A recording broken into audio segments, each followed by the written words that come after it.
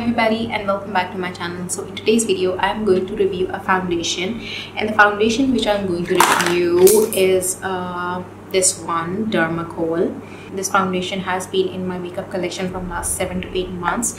Uh, i have ordered it from Daraz when i was in pakistan. And i have got the wrong shade.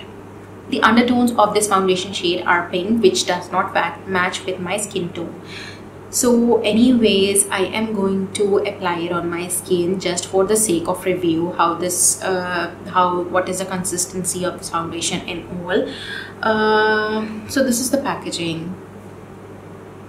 As you can see it comes in a standard of 30 grams or 30 ml like other foundation. It, it on this one on in this tube you get 30 grams. And uh, it is made in EU um, what else? Uh, the expiry which is mentioned on this foundation is 24 months. On the same box they have mentioned on here it is 207 the shade and here it is 208 so i'm not sure. I'm really confused uh, regarding the shade.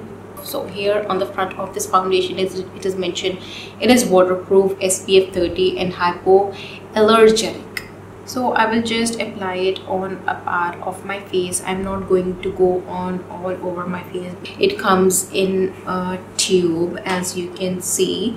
Let me show you the consistency. See you can see the shade is it is really really light for my skin tone this is the consistency. It is a full coverage foundation. And so I will just start the application on my face. I will just uh, use the corrector because uh, this foundation shade is not going to match my skin tone. So I will just apply a little corrector so that I can neutralize it a bit for you guys to have a little idea what is the finish of this foundation and all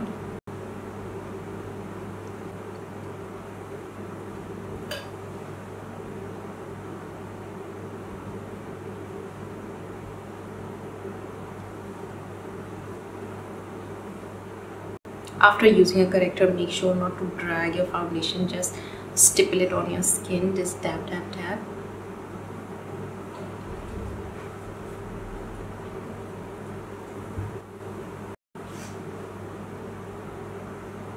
It is going to look really weird because I'm only applying it on a part of my face.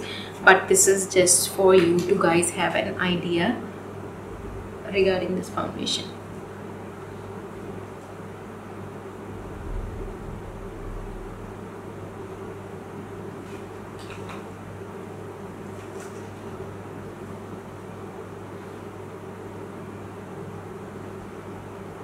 the thing what I like the most about this foundation is the finish what it gives. I really love the dewiness uh, what it gives. Like it's really beautiful. I have I really don't have an idea whether it is the original one or the fake one but uh, the coverage is in front of you guys and the finish is also in front of you. It does provide a really beautiful glowy and satin finish.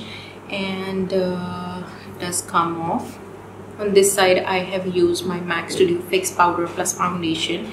And this side it is Dermacol the thing what I want to tell you guys is that if you are planning to wear this foundation for a longer period of time you should uh, consider to set it because especially in your some smile lines and like uh, on the sides of the nose and if you have used it under the eyes set it properly because it is going to settle in in the fine lines and it is going to crease because uh, that has happened to me. I have not filmed that clip or I don't have that clip to show you guys but uh, that's the thing what I want to tell you. It is uh, transferable and uh, I can clearly feel that it's coming off uh, from my face and uh, on my fingers. So that's that. It is emphasizing the texture on my skin and uh, my pores as well. And uh, the texture on my skin is looking very really bad if I look closer.